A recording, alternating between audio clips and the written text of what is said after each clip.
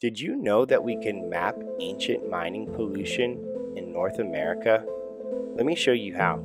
Our journey begins in the Great Lakes region, home to the Keweenaw Peninsula, jutting north from Lake Superior's southern shore. Here lies the rugged Portage Lake Volcanic Ridge, rich in native copper that was mined by indigenous peoples long ago. To trace this mining history, we analyzed lake sediments across this ridge. Small isolated lake watershed spanning about 50 kilometers provided sediment cores for the study. Each core holds clues in the form of metals, with lead serving as a marker for ancient mining emissions, a topic I cover in depth on my channel. Using ArcGIS, I mapped these emissions across time with green dots representing our lake core sites.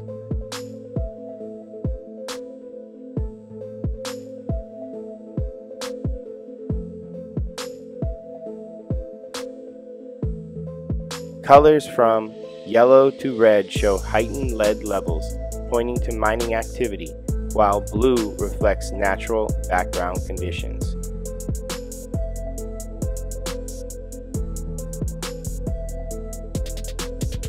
At the top of the map is the date, listed as years before present, with present defined as 1950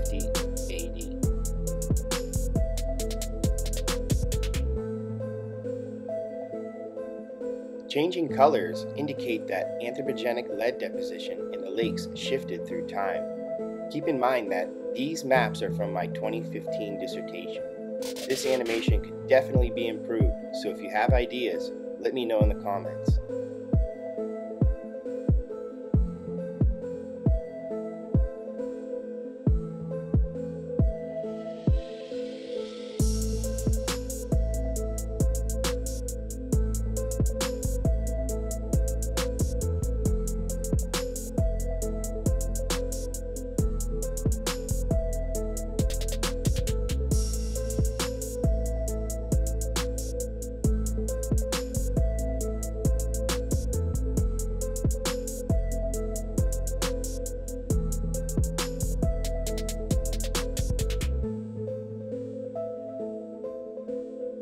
These patterns suggest that ancient mining pollution in North America could be some of the world's oldest.